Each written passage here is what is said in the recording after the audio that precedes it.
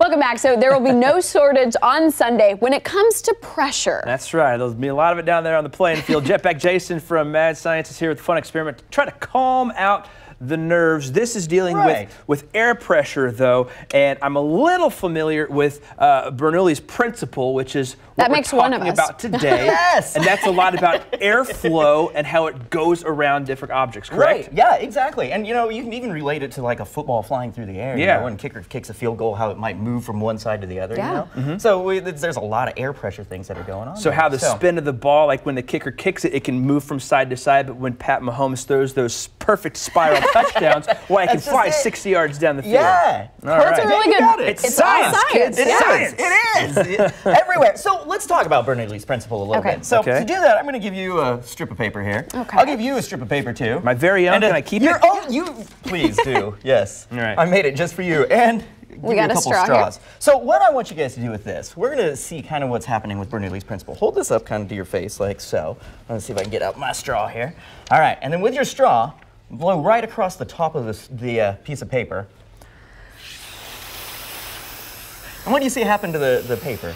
Well, it, it, it, it I- blows up there, Jason. Yeah, I You sort of turned wouldn't into think- Babar with the like trunk. Right? yeah, you wouldn't think it would go up, right? Because the air, though, as it's moving over the top, that moving air creates lower pressure on top. So that lower pressure on top means that the air underneath the piece of paper is trying to push that up to fill up that that that low mm-hmm. pressure area there. The Is funny thing, like- Jason, is we just kept doing it. Yeah, it's awesome. I mean, it's great. You Is that like lift then on like an airplane's That's wing? exactly Okay. it. Yeah, mm-hmm. and you can kind of think about it like a football too. You know, if the side that's that is moving like with mm-hmm. the air, right? That's going to have lower pressure because that hmm. air is moving faster. And so that's kind of why they can kind of hook like So that. So it's all dealing with the pressure. air pressure. Yeah. Now we can use this air pressure and take things up a notch here. So you guys out Kick of it breath up a notch.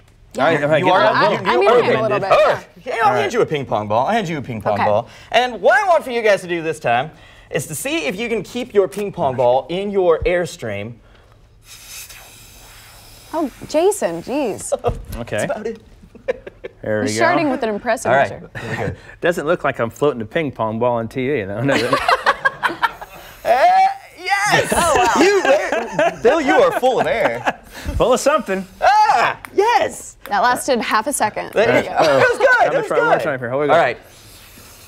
So what's happening now is that that air pressure is is creating kind of this low pressure area right around the ball. Do we need a bigger so, straw? You know, we could use a more bigger straw. We could use something with a little more powerful. Let's let's do this. You guys had a win. It's also so full of a lot there more we go. air, too. If we take our ping pong ball now and just set this right on up here. Oh, look at Oh, that. Oh, there we see go. Now, how does how does the foam help that airflow? I'm so glad you asked because the foam actually has nothing to do with that. Does it? It doesn't. Look, what we're going to do with the foam now is we're going to make ourselves an air sandwich that you can eat on like Super Bowl Sunday, right? Okay. Oh. So uh, let's see. Do you want to hold on to the uh, the foam here? right. Now hold on to it with one hand right underneath. All right, here we go. And I'm going to take this, and all of a sudden, out of nowhere, are two pieces of foam. There we go. Let's see if I can balance it here. Ah! It's going to hold it up. There we go. Eh, eh, eh, eh. Kind It's of. making a There dance at least. But There. still, the idea here is that we're getting the airflow coming down, but it's still creating a suction. though, Right, yeah, all of that air is moving out to the side. So again, Bernoulli's principle, that moving air is lower pressure, so the air underneath is pushing up on that to hold it up. All right, well, All right. Jason, we appreciate the science of sports and Bernoulli's principle, and of course, all of the hot air you've supplied this Yeah. morning. Jason, Full of thank you so much. Thanks, All right, guys. get